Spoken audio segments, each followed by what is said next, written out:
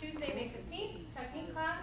A couple things that we went over tonight were the basic bending and straightening of our legs in rhythm, okay? When we start with our legs closed, we wanna make sure that we have a nice turnout, meaning that our toes are pointed toward the corner of the room, not straight ahead. Our heels are together, our knees are together, our legs are together all the way up to our hips, okay? So we have a nice inner thigh awareness that's going to ground us and keep everything nice and clean. From here, we used our bodies to step out into an open position so that our feet end up shoulder width apart. And we worked on bending one leg and keeping the other one straight. Bending the other one and keeping the other straight. Emphasizing the inner thigh squeeze and being on the inside edge of our feet, okay?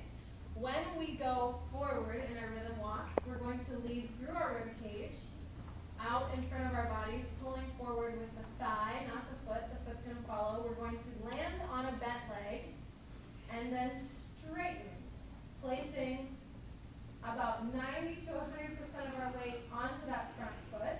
We're going to settle the hip and then do the same thing with the other foot, pulling through with the body and the thigh, landing on a turned out foot, settling our weight, and straightening the leg.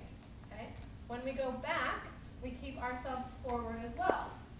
We're going to pull forward through the rib cage, pulling back through our hips, bending inside edge of the foot, and straighten.